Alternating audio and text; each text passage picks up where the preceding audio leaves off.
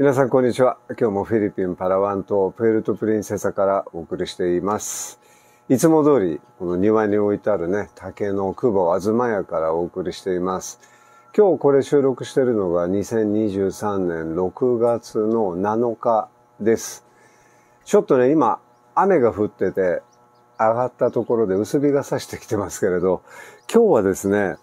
えー、っと、以前、というか2日前に公開した動画、あ2日前かな？に対するね、ちょっとね、クレームなんですね。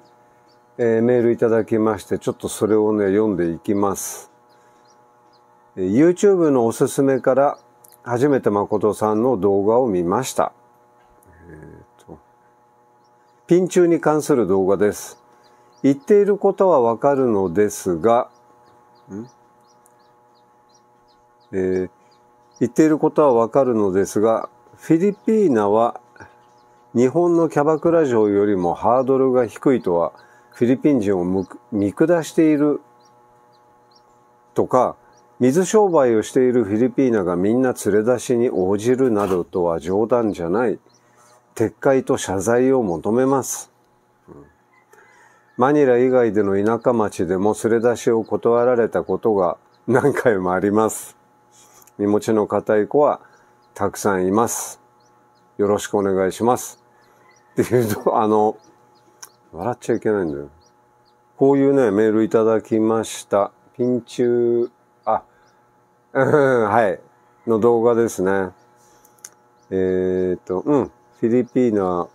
フィリピーナはっていうか、フィリピンの水商売してる子っていうので、ちょっと比較に出しましたけれども、ハードルが高いか低いかっていうと、低いんじゃないですか？あの、フィリピンナってってるんじゃなくて、フィリピンで水商売やってる子。で、今のね、日本のフィリピンパブなんかで働いてる子たちは、もう結婚してて、日本人の旦那さんがいたりっても、で、十数年前みたいに、その工業ビザ、いわゆるね、タレントなんて言ってましたけど、そういうふうに言ってる子たちがたくさんいた時代とはまた違ってきてるんで、ただマニラあたりのね、この水商売やってる子というので僕比べてたと思うんですけれども、ただね、ジャパニーズ KTV ってところがたくさんありますね。マニラとか、えー、マカティとかにある。そういうところは基本的に連れ出しっていうのはできなくなってますけど、これ地方都市に行くとね、あの、そういうことが行われています。連れ出しってね、バーファインなんて言われてますけど、ファインっていうのはあの、罰金という意味なんですね、ペナルティ。仕事をそこで抜けるから、お客さんと店から出てっちゃうんで、店に罰金を払うってことで、その後何するかわかんないですよ。あの、フィリピンはね、売春というのが禁止されてるんで、ただ、ね、考えてることは、客の立場としては一つだと思いますけれども、そういうことね、どこでもね、これ実際に行われています。日本どうですか？地方都市って。そういうこと OK のところってたくさんあるのかな？どうでしょうね。うん、だからね、ハードルが低いの高いのっていうのは、そのハードルって、日本の例えばキャバクラ嬢を口説いてどうのこうのって言ったら、なかなかね、難しい。特にじじいになって言ったら、難しいんじゃないかな。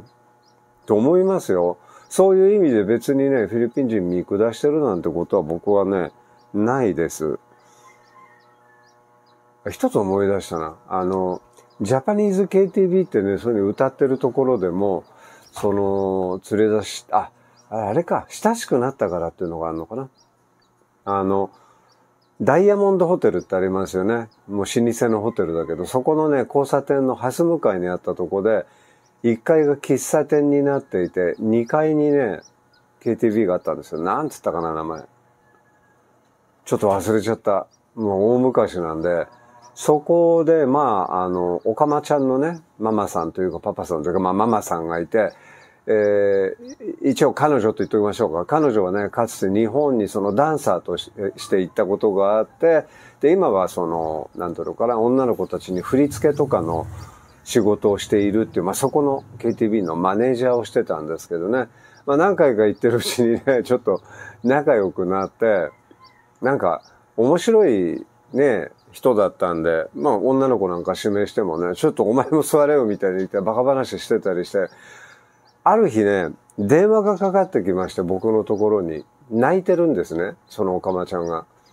で、どうしたんだよって言ったら。で、彼氏がいたんです彼氏とうまくいかなくてどうのこうの別れるのなんだかんだってね、泣いててかなり深刻だったようなんだけど、私はもう死ぬとか言ってるから、おいおい、穏やかじゃねえな、つって。で、ちょっとじゃあ会うかって言って、昼間、昼飯時だったんで、あのね、焼肉屋、えっ、ー、とね、当時のパンパシフィックホテルの向かいにあった、まあ、韓国料理屋で待ち合わせしたのか、昼飯時ってももう1時、2時になってたのかな。その韓国料理屋、いつもね、そのスチールの箸が出てきて、それが気に入らないで行くたびにね、木の割り箸ないのかってもらってたとこなんだけど、で、そこに着いたら、早めにそのママさんはね、ついてたんです。で、店の中入ってるように、表通りにその、座ってね、その店に寄りかかるようにして膝抱えて座ってて、女の子がそういうポーズで言ったらね、なんか、どうしたんだよって気になるけど、でも昼間だからその店に出るようなちょっとした薄化粧しているわけでもない、なくて、ただのおっさんが外で座ってるわけですよ。お前何こんなとこ座ってんだって中入ろうぜって中入ってね、したらもういろいろ愚痴をわーってその、まあ、彼女は片言の日本語、まあでも結構うまかったかな。日本語と、で、エキサイトしてくると日本語と英語とタガログ語混じりでもう泣き出すわけですよね。でもね、私はもうこういう状況ではね、ここで生きていられないから死ぬの、なんて言ってるんで、メソメソしてんじゃねえよ、お前、金玉ついてんだろ、つったら、ついてるわよ。ついてるけど取るお金ないわの、ないのよ、なんつってね。まあ、そんな 思い出しちゃった。面白かったね、あれ。でもね、そんなことやって慰めたりしてて、それから、なんだろう。なんか友達みたいになってね、いつもその店に行くと、1000ペソだったんです。1000ペソにしてくれたんです。その店に行って、例えば仲間と5人で行って、それぞれが女の子を指名して、女の子が、女の子もね、そこね、サンミゲルライトが出てきたんですよ。あの、わけのわかんない色付きの水とかじゃなくて、サンミゲルライト出てきて、何本飲もうが何時間いようがね、1人1000ペソ。で、5人で行けば5000ペソとかね、でやってくれてて、で、たまにねあの、ビップルームとか入っちゃってね、6、7人で行った時かな、ビップルームに入って、なんかみんなで大騒ぎしててね、裸になってるやつもいたし、まあ、大騒ぎしたりする、そんな店もあって、そこはね、うんと、その、女の子の指名客が後で来るっていうんじゃなけりゃ、ね、なんか、もう店上がっていいやろ、この子なんつうとね、こうなんか、上がってったりしてた子もいましたけど、まあちょっとそれは特例としてね、ちょっと思い出しちゃった。うん。まあ、うん。ちょっと今話ずれちゃったけどね、そのハードルが高いか低いかって言ったら、いそう思うんですよね。まだあったか。撤回と謝罪を求めます。撤回も謝罪もしません。えっ、ー、と、マニラ以外での田舎町でも連れ出しを断られたことが何回もあります。身持ちの固い子はたくさんいます。それは当然ですよ。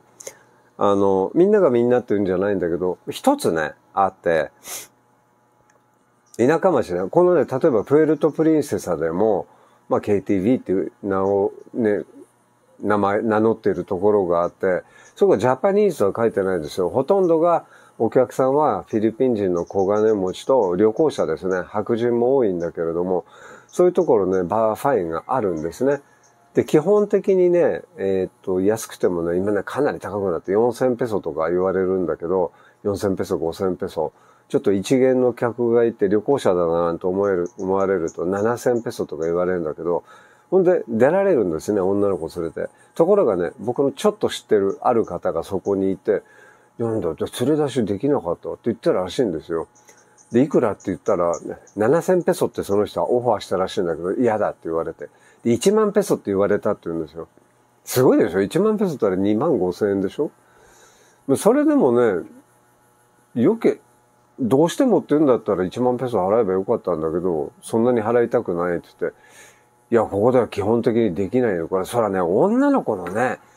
好みだってあるわけですよ。そのさっき言ってた、ジャパニーズ KTV でもそういうところ、ことをね、できたっていうところであって、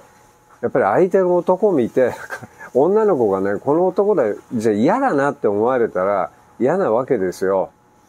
で、そういう今地方都市でもね、そうやってバーファイナーができるところなんかは、まあ、うん、ほとんどそうなんだけれども、そこのママがね、この子はダメなのとかね、今日はこの子が生理なのとかいうことがあるんだけど、生理なんて嘘で、生理的にその客がダメっていうことが多いですよ。このメールいただいた方。あなたがそうだって言ってるんじゃないけどね。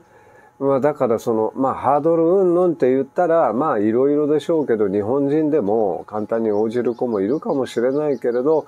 まあフィリピン人のね、子たちっていうのは、その日本人の女の子とまた働いてる理由っていうのも大きく違うことがあって、例えば日本人で水商売やってる子だったら、まあいろいろですよね。もちろん大学の学費を稼ぎたいって子もいるけど、ブランド本のバッグ、時計欲しいって子だとか、海外旅行に行きたいだとか、そういう遊びの目的で働いてる子も実際の話ね、すごく多いです。ところがフィリピンの場合は生活かかってる。生活のためなんで、もうノーチョイスなんですよね。彼女らにしてみれば。安い給料で働いてるって、たまに来たそういう外国人のお客に連れてかれると大きなお金が入ってくるじゃないですか。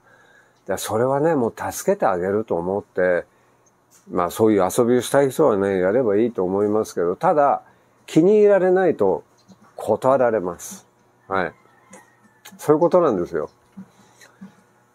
だからっつってね、そのフィリピン人で見下してるなんてこと全然ないでしょ？かつてフィリピン人とね、たくさん付き合ったし、結婚もしてたし、何より今一緒にいるのフィリピン人だし、で、僕今フィリピンにもずっと住んでますから、見下してね、こんなとこ、こんなやつと思ってたら、この生活を送っていけないですから、だから、えー、前回のね、その動画の発言に関しては、撤回も謝罪もいたしません。まあでも、楽しくね、遊べばいいんじゃないですか？その、何？連れ出しを断られたってことだけど、そういうお店じゃなくて連れ出し専門のとこ行けばいいんじゃないの？逆に思っちゃうけどな。えー、ちょっと今日はね、こんなくだらん話をしました。今日この辺で失礼します。